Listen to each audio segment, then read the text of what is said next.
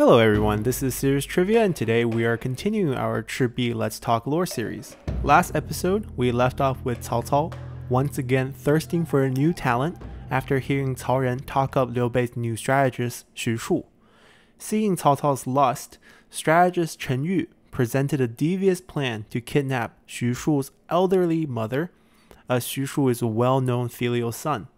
Hearing this crafty and borderline unethical plan, Cao Cao is elated, as he is a pragmatist, and even though he admires Guan Yu for his honor, Cao Cao has no honor himself.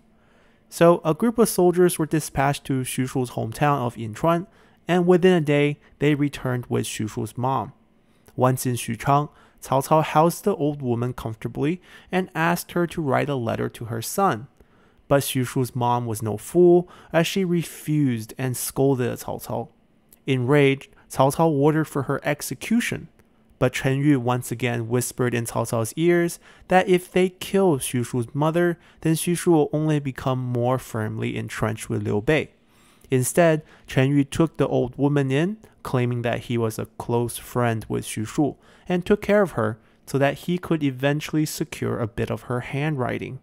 Once he had her handwriting as a reference, Cheng Yu copied the old woman's handwriting style and wrote a letter to Xu Shu himself. The letter states that she has been imprisoned and can only be saved if Xu Shu surrenders to Cao Cao. Cheng Yu then had the letter sent off to Xu Shu in Xinye. Long story short, Xu Shu receives the letter and runs off to cry with Liu Bei. Now, good guy Liu Bei here needs to stay on brand. So obviously, after shedding some tears himself too, he allows Xu Shu to leave.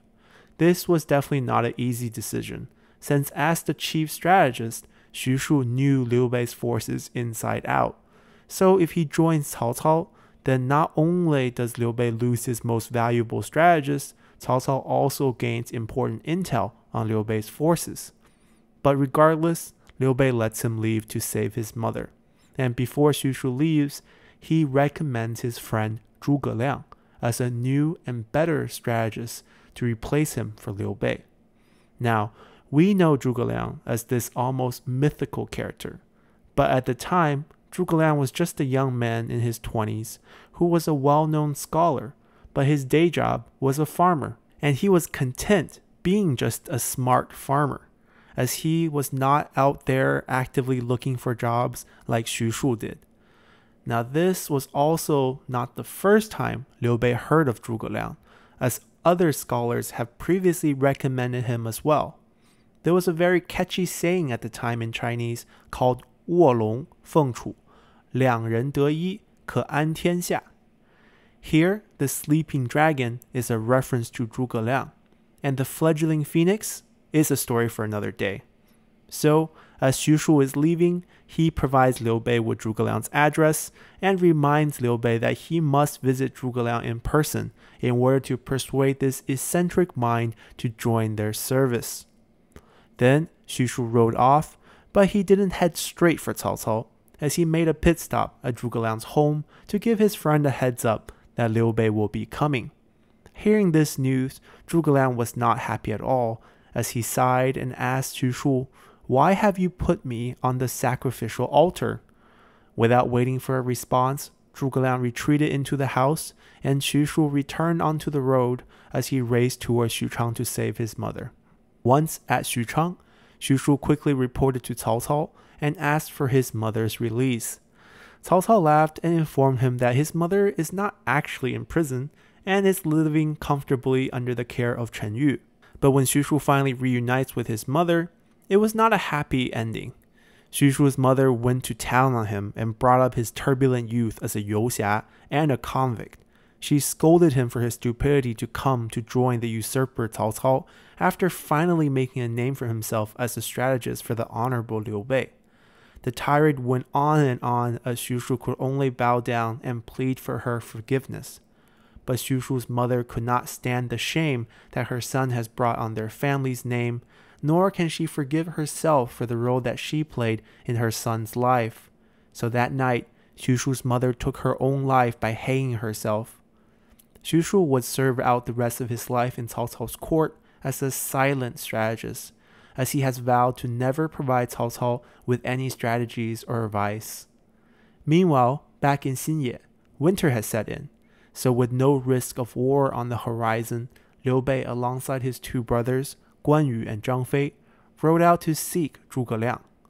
Their first visit ended in failure, as when they arrived at Zhuge Liang's home, they were greeted by a servant boy who told them that Zhuge was out visiting friends from afar.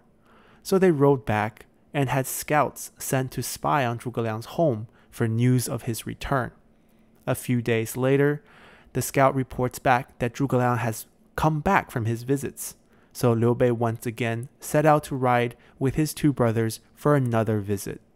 The second visit came at an inopportune time as a snowstorm sets in, and Zhang Fei, who never took a liking to strategies or strategists, nagged all the way there. Once they arrived, they were greeted by a young man, but he was not Zhuge Liang, but his younger brother Zhuge Jun. Zhuge Jin informed them that his brother Zhuge Liang has left a day ago on a hike with some friends. Already bothered by the journey in the snowstorm, Zhang Fei immediately turned around to leave, but Liu Bei scolded him for his rudeness as he cordially chatted with Zhuge Jun to find out a bit more about the Zhuge clan. The Zhuge clan has three boys. Their father died when they were all relatively young, so they were raised by their uncle, and eventually, after his death, they moved to the Jing province, as it was a rather peaceful place in this time of war. The oldest brother, Zhuge Jin, currently works as a strategist for Sun Quan in Wu. The second brother, Zhuge Liang, and the youngest brother himself, Zhuge Jun, lives here as hermits to stay sheltered from the chaos of the time and just tend the land and farm. After this short chat, Liu Bei asks if he could write and leave a letter for Zhuge Liang when he returns. Zhuge Jin agrees and brings out the writing utensils, and Liu Bei leaves a letter stating that he has come twice and is seeking the talent of Zhuge Liang.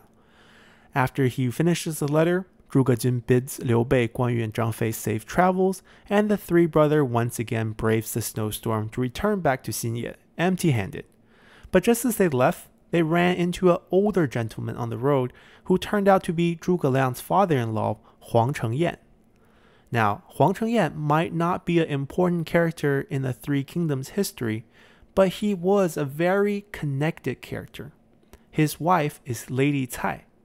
If this name sounds familiar, it is because there is another Lady Cai who was the second wife to Liu Biao. These two Lady Cais are in fact related as they are sisters. This would make Huang Chengyan brother-in-law to Liu Biao and Cai Mao who is the brother of these two Lady Cai. This would also make his daughter Huang Yueying, Liu Biao and Cai Mao's niece. So, despite historical documents stating that Huang Yueying, or Zhuge Liang's wife, as being a ugly woman with dark skin and yellow hair, I think Zhuge Liang did quite well for himself in this marriage arrangement. And the fact that someone like Huang Chengyan, who you could argue was as well connected as you can be in the Jing province, would agree to such a marriage should be a testament to Zhuge Liang's abilities. Because if you objectively look at it, Zhuge Liang is a nobody in the Jing province.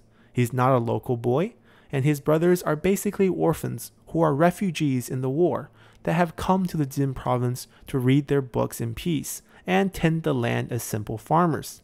But his smarts brought him a lot of fame, as fellow scholars nicknamed him the Sleeping Dragon and he didn't even actively seek out this marriage.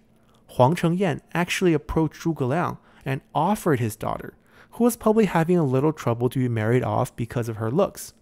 Dark skin, yellow hair really wasn't your traditional Chinese standard beauty, which highlighted fair skin and dark hair. But Zhuge Liang gladly took the marriage and essentially became in laws with the lord of the Jing province, Liu Biao. Okay, that's enough about Huang Chengyan. Let's go back to Liu Bei and his third visit to Zhuge Liang. This time, spring has arrived, and the three brothers once again set off for Zhuge Liang's home.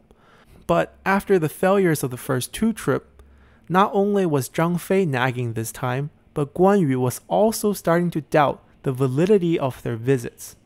Liu Bei, however, remained convinced that Zhuge Liang was a worthy talent, and the three of them made the trip.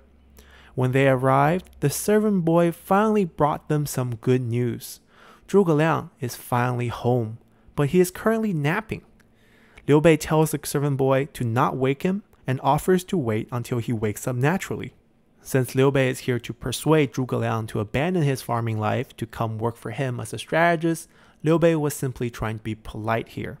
The servant boy shows Liu Bei into the house as Guan Yu and Zhang Fei waits outside with the horses.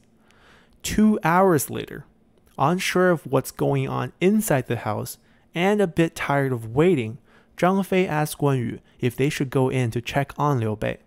So the two of them showed themselves in and what they see is that Zhuge Liang is still snoozing in bed while Liu Bei remains standing out of respect. Seeing this, the temperamental Zhang Fei finally had enough as he dashed for the kitchen, not to eat, but to grab the flint so he can set the house ablaze to see if Zhuge Liang can sleep through that. To find out if Zhang Fei will burn down Zhuge Liang's house, come back tomorrow as we finally get to see Zhuge Liang in action.